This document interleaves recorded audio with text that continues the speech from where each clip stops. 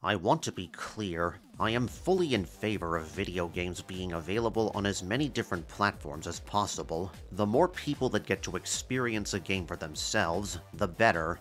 But I can't help but notice that, aside from Nintendo, the trend of true exclusive games that are only available on one platform isn't really a thing these days. This leads me to ask what I think is a very important question. Are exclusive games dying?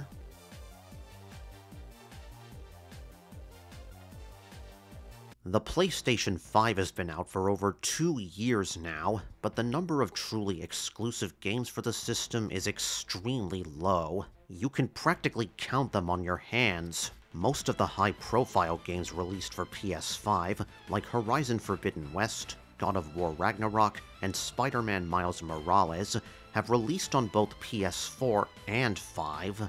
Additionally, PlayStation have also started porting a bunch of its games to PC as well.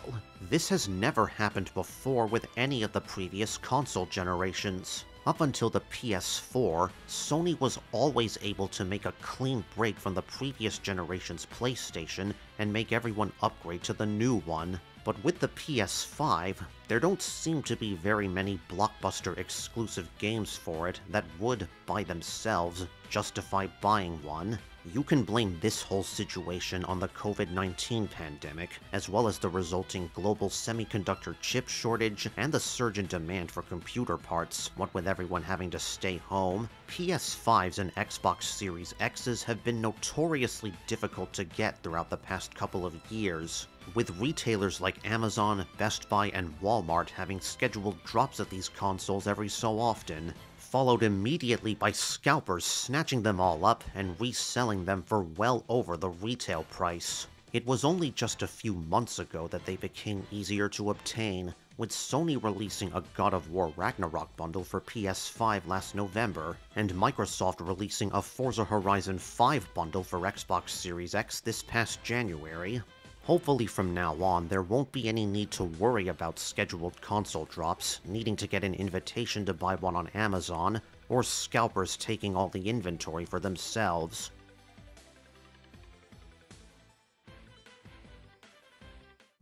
So far, the PS5 has sold at a slower rate than the PS4 did, selling 32.1 million units as of February 2023, versus the PS4 selling 37.7 million units in the same time frame. The difference is, the PS4 didn't have to deal with a global pandemic, a semiconductor chip shortage that ate into its availability, and scalpers buying up all the available stock to make a quick buck. As a direct result of the console shortage, Sony decided to manufacture 1 million extra PS4 units just last year to make up for the lack of PS5s. Sony's not quite ready to move on to a PS5 only generation like they planned because of how much the pandemic messed up the world, as well as the fact that the PS5 is backwards compatible with the PS4 anyway. On the other hand, the Xbox Series X and S combined are estimated to have sold around 18.5 million units by the end of last year, despite not having any official sales figures published. That follows the pattern from last generation, where the PS4 outsold the Xbox One by a more than 2 to 1 ratio.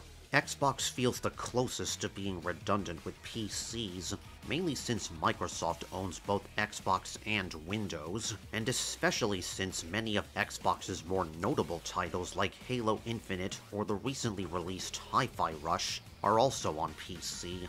But now that both PlayStation and Xbox have been putting games onto PC, that just further highlights the redundancy of this generation's hardware. I can't help but wonder if the PS5 will ever get out of this pandemic-stricken rut, and give us more than just a handful of truly exclusive games.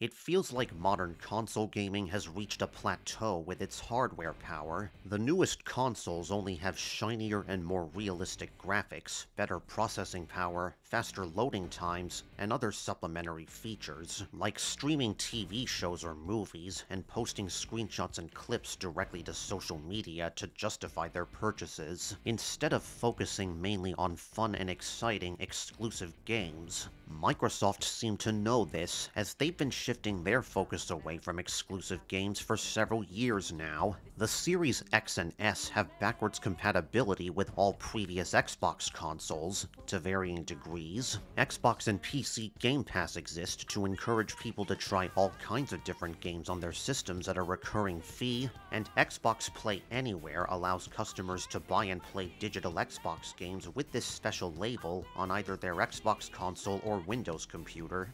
And most importantly, Phil Spencer stated back in 2020 that all first-party Xbox Series X games would also get Windows PC releases, as a direct defiance of the idea of console-exclusive games. Microsoft clearly stopped relying on the idea of exclusive games to entice their customers a while ago, but as Microsoft's direct rival, Sony have always relied on exclusive IPs and games, as well as capitalizing on the other game companies' mistakes to drive sales of each new PlayStation they make.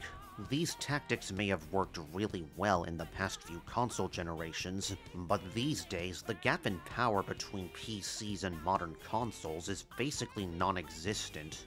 PlayStation porting their high-profile games to PC is solid proof of that.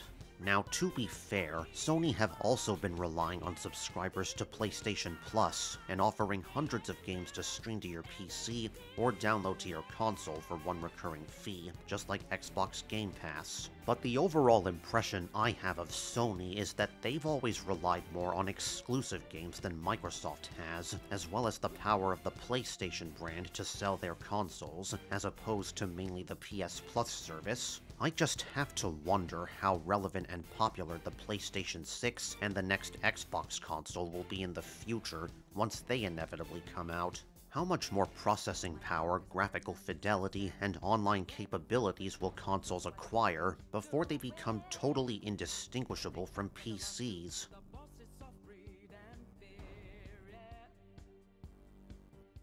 Video game consoles' main purpose has always been and always should be to play fun, exciting, and unique games. Exclusive games just give each console a one-of-a-kind edge in the market, but the idea of an exclusive game these days is very different to what it was a decade ago. The number of exclusives for PlayStation and Xbox consoles has been steadily decreasing with each passing generation, as each new console becomes more and more like PCs. I'm mainly talking about Sony, and to a lesser extent, Microsoft. Nintendo has nothing to worry about in terms of how many exclusive games they have for the Switch. But then again, Nintendo have always done their own thing, focusing on creating fun and unique gameplay experiences only available on its platforms, instead of cranking up the processing power and graphics to 11 like Sony and Microsoft do.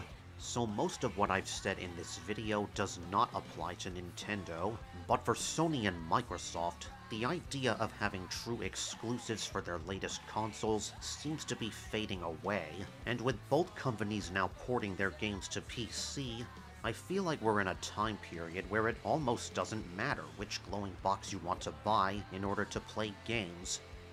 Almost.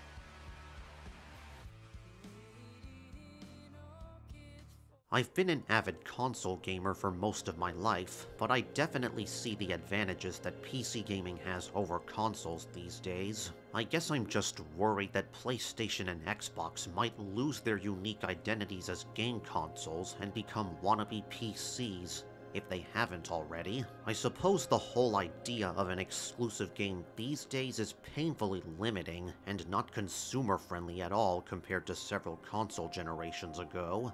And as I said at the start of this video, I am all for games being made available to as many platforms and players as possible. It's just that the trends I've been seeing with game consoles these days show a very different industry climate from what I experienced growing up as a kid. If you take just one thing away from this video, it's that this video is meant to be an overview of as much information as possible about the current generation of gaming that shows where the gaming industry could likely be headed in just a few years. Maybe game companies could put more investment into VR systems, like PlayStation is doing with the PSVR 2. That still shows a lot of room for improvement and evolution. Thanks for watching. I hope you enjoyed this video, and I hope you'll support my future videos too. See you next time.